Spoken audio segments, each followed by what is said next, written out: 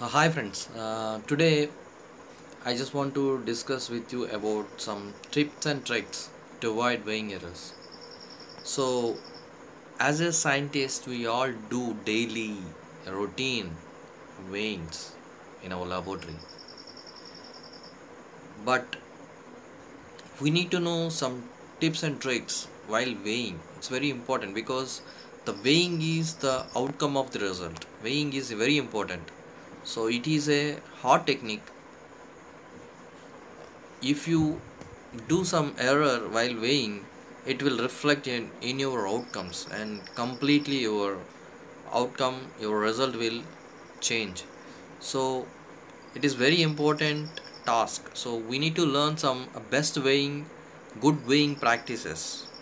In in good weighing practices so we need to learn some tips and tricks to avoid some weighing errors. Today I am going to tell about some tips and tricks about weighing weighing errors. So be be in this video up to last slide so that I will I will tell you very interesting facts and tips so that you can avoid weighing errors. Thank you let us go into the slides. So friends location matters friends. You is your balance in the cart place or not? We need to check. Location is important. So the location of your balance has a direct impact on the precision and reproducibility of your weighing results. So we need to check the location of the balance. So before that the weighing table. We are going we are going to learn about weighing table how it will be and uh, what is its use okay? Use a stable table okay? Stable table like vibration free table. You can use marble top table also. So marbles will not give any any vibration. So marble top tables we can use for weighing balances. And ensure it is anti-magnetic surface or not and protect it against electrostatic charges. It should not it should not reflect any electrostatic charges because it will reflect the weighings. So avoid some plastic materials nearby. Okay and the the weighing balance need to be fixed to either the wall or the floor but not the both. So you need to keep it in mind this point very important point. Working table how how it will be okay? This is very important point. Next. So working room. So so the table should be placed in the corner of the room okay? In a building. We need to keep the weighing balance in a corner of the room. Don't place it in a middle. Why? Because the vibration less play less least vibration place is the corners of the room. Keep it in mind it is very important to keep the balance in the corner of the room. The room should be free from drafts okay? Ensure there is no drafts next room temperature. Temperature is playing major role while weighing. Okay keep the room temperature as stable as possible. Need to be it need to be 20 to 25 degrees centigrade. Do not locate the balance near radiators or windows. So don't keep your balance near radiators or windows. So it will change the temperatures okay. It will if you keep the radiator the temperature will rise. If you keep the uh, uh, weighing balance near window it will it will down the temperature. So don't keep nearby a windows or radiators. So humidity. So room temperature over next humidity. Humidity is playing a major role. It's very important humidity need to be 20 to 80 percent. Don't below or above. So your weighing room should be humidified to 20 to 80 percent. Okay?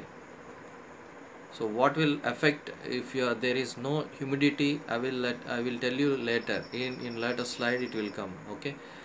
Next light as a heat source. Do not place the balance in direct sunlight. Okay? Please uh, so, sorry place the balance away from uh, from other light sources like light bulbs etc don't keep light bulb in front of it, a weighing balance or above the weighing balance. So it will reflect the weighings. So temperature will vary and most things will affect. So don't keep any lights or sunlight nearby. The weighing balance need to be placed in a right right right manner. Next air. Do not place the balance in airflow or air conditions or devices with ventilators. Okay. Do not place the balance in airflow or air conditioners or devices with ventilators. Place the balance away from radiators. Already we discussed. Tip. Open the draft shield of the balance only as far as necessary. Don't just like that open. Keep the drafts of the weighing balance close. Next. Operating your balance avoid common errors. Okay while operating your balance correct handling of your balance and sample is essential to minimize external influences on, on your weighing results. So switching on do not disconnect the balance from power supply. The balance should always be left switched on. Don't switch off balance. Okay? It will deflect your readings the power power uh, power uh, uh, deflection will will be there means your weighing will change. So do not switch off the weighing balance. Keep it in on mode. Next before weighing you need to see the level level of the uh, that indicator bubble air bubble will be there. So ensure the balance is level by checking that air bubble is in the center of the level indicator. You're seeing no center of the level indicator. So ensure it whether it is there or not. Next. So weighing vessels. So we are when we are weighing we need some vessels so that we can easily weigh the samples. So use smallest possible weighing vessels. Okay. There are ErgoClip baskets are there. It's, uh, it's it is very less weight so we can use it. You are seeing in the slide. So use it. Avoid weighing vessels made of plastic when atmospheric humidity is below 30 to 40 percent. How this will affect? We'll see in later slide. So weighing pan. Always place the sample in middle of the weighing pan. Place the weighing vessel in the middle of the weighing pan shown in blue in the diagram. This will prevent corner load errors okay? Don't keep at the corners of the weighing pan. Keep in the middle of the pan weighing should be. Next one. So reading. Check that the balance display exactly zero before weighing. Tare after placing the weighing vessel on the balance. Ensure that the reading is stable before reading the result okay? This is most important. Check the balance display whether it is showing zero or not. Then you have to weigh. If it is not tare after placing the weighing vessel on the balance. Ensure that the reading is stable before recording the result. That reading should be stable. It should not deflect even even very small amounts also. It should be stable. Then only you have to take the weight. So sample is playing major role. We uh, we discussed in before slides about the electrostatic forces that will come in these samples. So avoid touching the sample and weighing vessel. Okay be aware of possible electrostatic charging of the sample and weighing vessel. So we need to aware how electrostatic charge will uh, will boost up while doing weighing. How it will be i will tell you. So acclimatization of the sample and weighing vessel before weighing. So acclimatization means you have to wait suppose you are taking a a sample from refrigerator. Wait until it it it will come to the room temperature. So we'll see what will happen when you are weighing a low temperature sample. Let us see. There is a temperature difference between the weighing sample and its surroundings which leads to air currents along with the weighing vessel. The air flowing along the side of the vessel generates a force in an upward or downward direction that falsifies the weighing results this effect is called dynamic buoyancy. The effect does not die away until a temperature equilibrium is reached. So, equilibrate your sample to room temperature. If you are weighing a cold object, appears heavier and warm object is lighter. So, the weight will vary. So, keep it in mind you have to equilibrate the uh, test uh, test item or sample